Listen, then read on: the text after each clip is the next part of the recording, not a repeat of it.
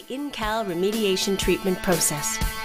InCal was recently demonstrated in Edmonton, Alberta to a group of oil producers, environmentalists, and financiers. In this demonstration, drill cuttings, a mixture of fine sand and drill fluids, were processed in the prototype unit. The contaminated drill cuttings are converted to fine dry soil and light hydrocarbon fluids. The soil meets the Alberta Tier 1 criteria, and the hydrocarbons are reusable without any further processing. Here's how it works.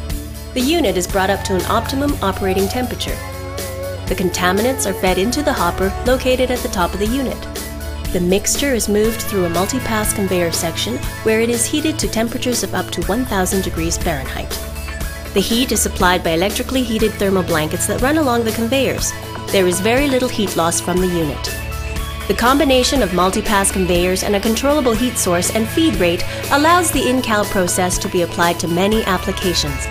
The hydrocarbons are liberated by the heating process and the resulting vapors are drawn off, cooled and condensed. To complete the process, the dry treated soil is fed to a collection vessel. The treated soil can then be disposed of safely in the environment. Key features of the InCal remediation process are InCal has the ability to treat a variety of contaminated material.